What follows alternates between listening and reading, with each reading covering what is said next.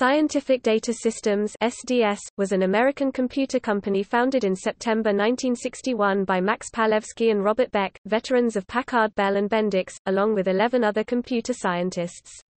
SDS was an early adopter of integrated circuits in computer design and the first to employ silicon transistors. The company concentrated on larger scientific workload-focused machines and sold many machines to NASA during the space race. Most machines were both fast and relatively low-priced. The company was sold to Xerox in 1969, but dwindling sales due to the oil crisis of 1973–74 caused Xerox to close the division in 1975 at a loss of hundreds of millions of dollars. During the Xerox years the company was officially Xerox Data Systems XDS, whose machines were the Xerox 530, 550, 560, the Xerox 500 series.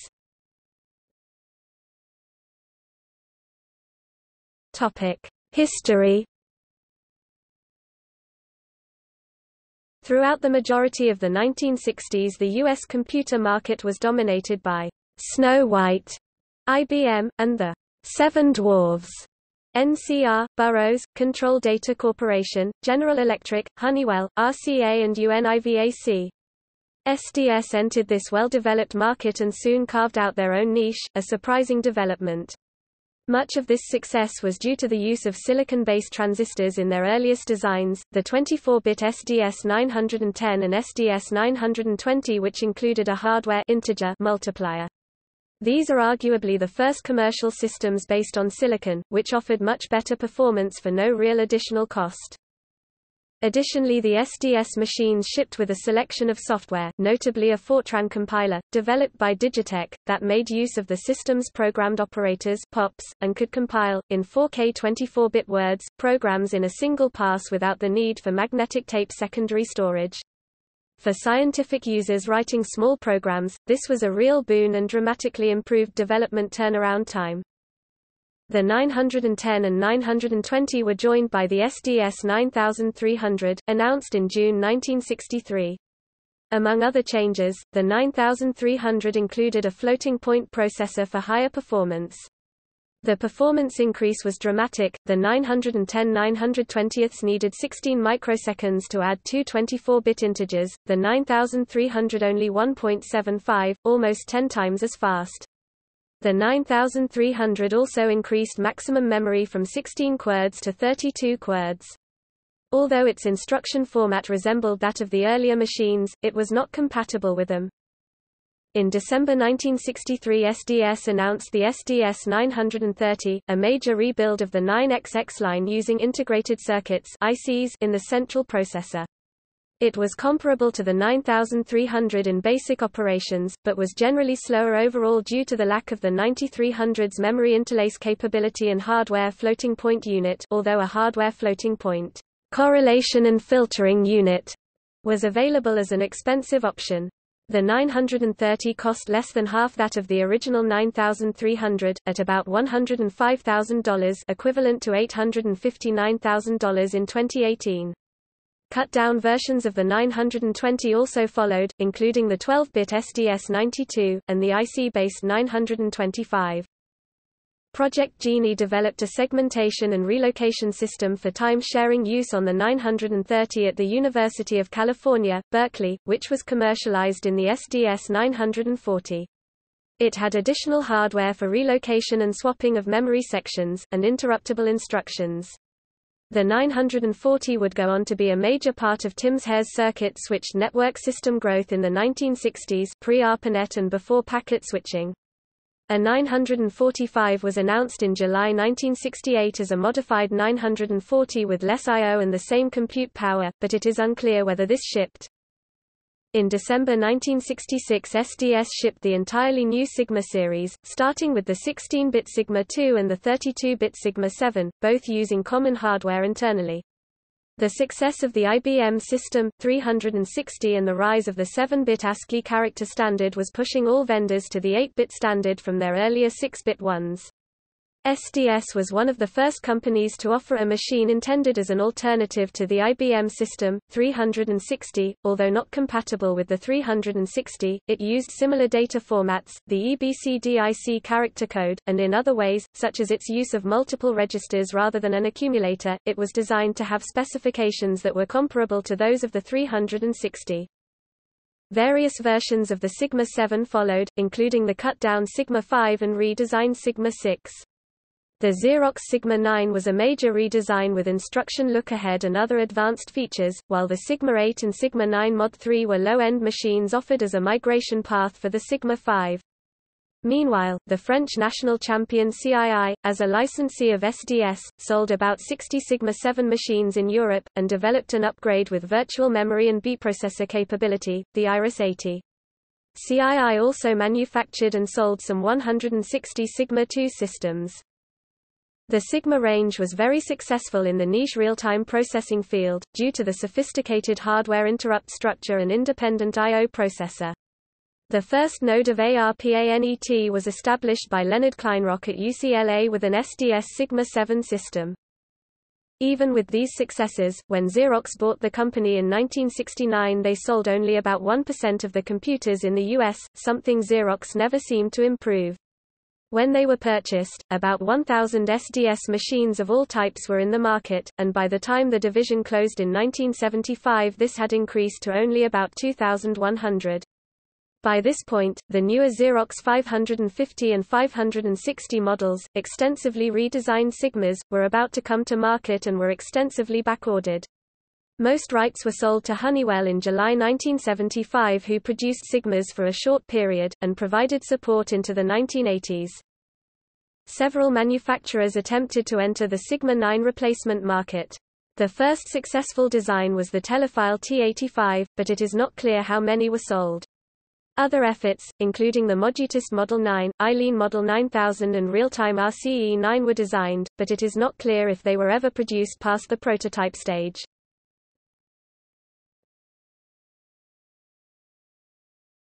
Topic: A New Start.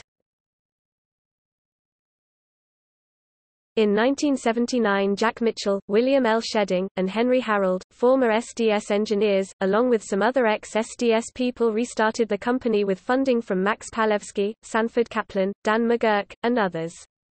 They introduced a microprocessor-based computer called the SDS-420 built on a 6502A-based processor design with up to 56 kilobytes of memory and a proprietary OS, SDS-DOS, along with the basic programming language from Microsoft. The SDS-420 featured a dual single-sided double-density 400 kilobytes per side floppy disk drive, Model 70, manufactured by PerSci Peripheral Sciences, of Santa Monica and Marina del Rey, California. The SDS-422 model offered some of the first dual double-sided double-density floppy drives. Other hardware options were a 6551A USART and a proprietary network SDS-NET using a Z8530 SDLC, HDLC chip and software patterned after the early Xerox 3.0 megabits per second Ethernet and transceivers produced by Tat Lam of the Bay Area. The 400 series had little to do with scientific computing and more with word processing and business services. The company sold about 1,000 machines worldwide, including Tahiti, London, Italy, New York City and Los Angeles.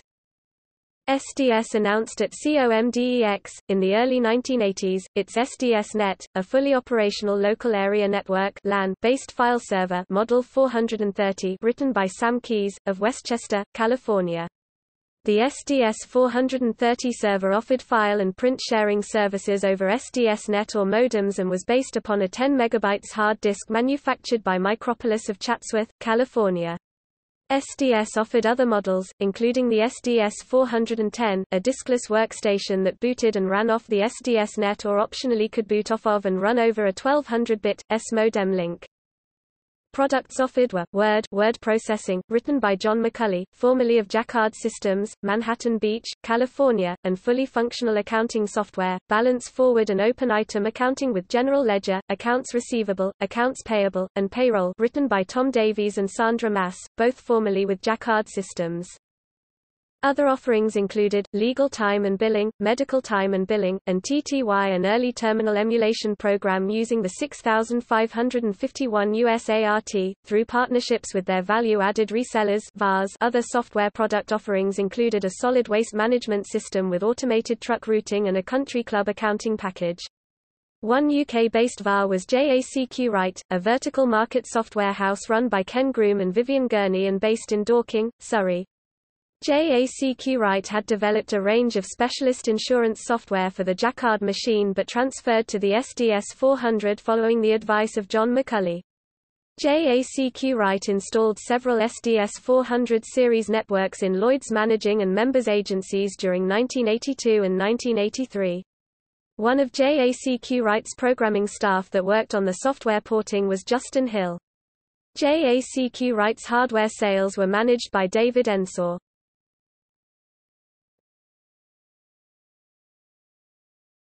Topic: SDS in the United Kingdom.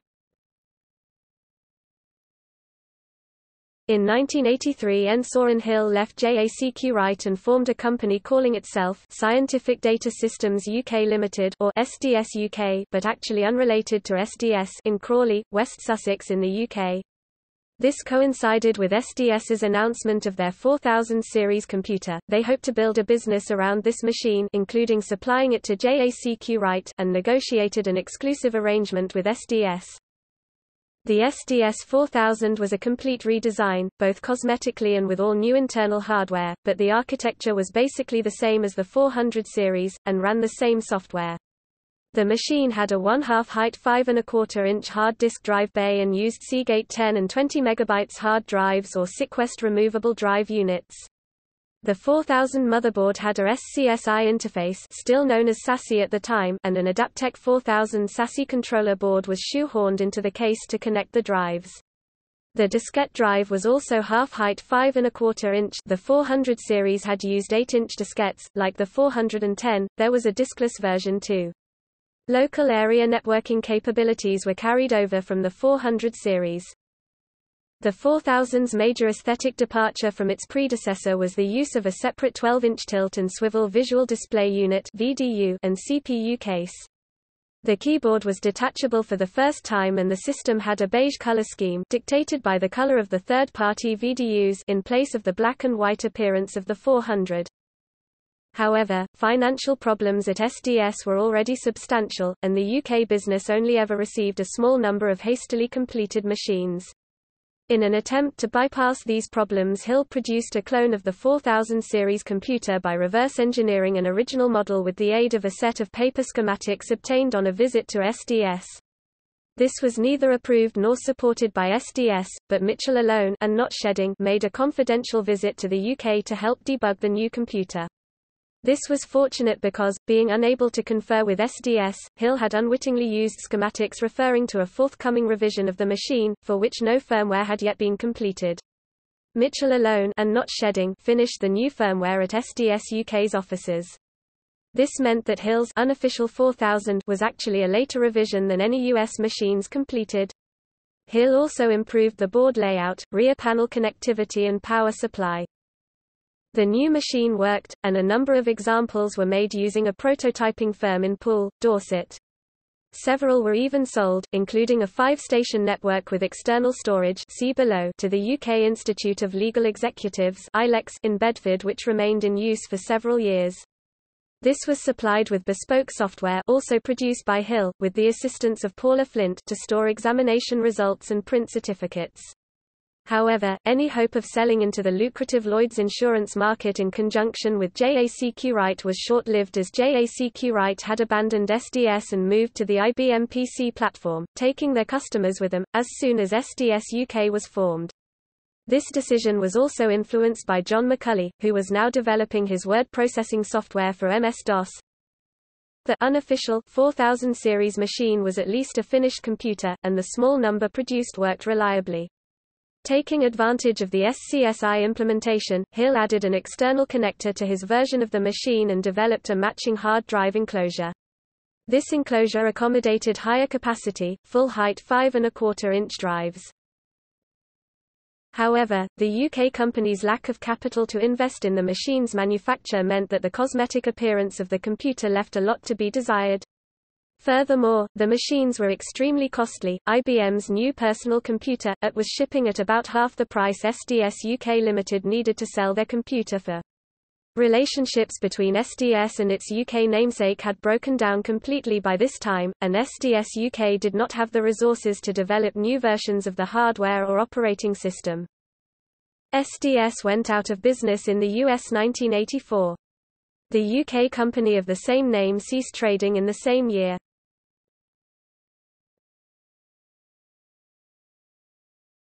Topic: Known users. Although initially intended as a scientific computer system, the 900 series and the Sigma series were used extensively in commercial time-sharing systems. The biggest such user was ComShare Inc. of Ann Arbor, Michigan, who extensively developed the hardware during the 1980s and the Sigma 9 was operated commercially until c. 1993. Developments and improvements by ComShare included the iChannel, which allowed the utilization of bus, tag IBM-compatible devices and the ISI communications interface. These innovations allowed ComShare to capitalize on the Sigma CPUs and their software development Commander 2 by gaining access to current technology storage systems. Recognition Equipment Inc. of Dallas, Texas used 910s in the 1960s to control its optical character recognition machines. Other known users in the USA include Known users outside the U.S. include Topic: SDS software.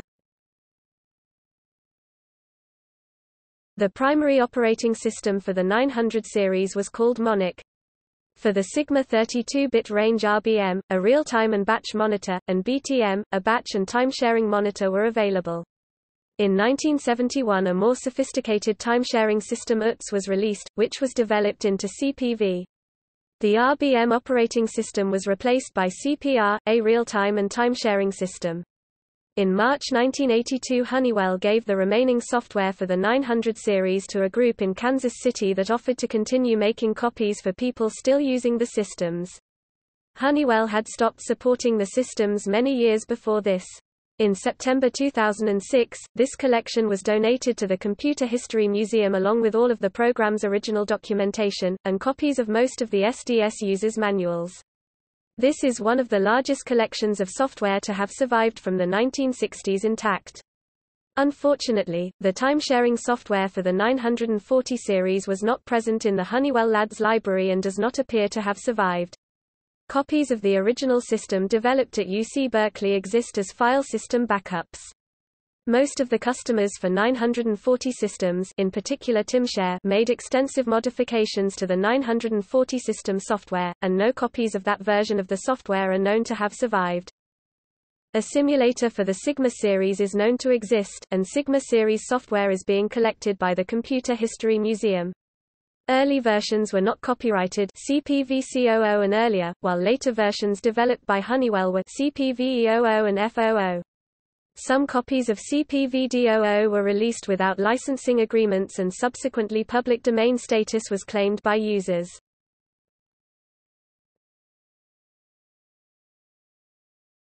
Topic: Computer models SDS 910 first design, shipped along with the 920 in August 1962. 24-bit systems. SDS 920 SDS 9300 High Performance 920 with FPU and more memory. SDS 925 Less expensive but faster 920 SDS 930 Major redesign SDS 940 to 930 with additional support for time sharing. SDS 92 to 12-bit low-end machine 1965. The first commercial computer using monolithic integrated circuits. SDS Sigma 2 Sigma 2 and 3 were 16-bit systems.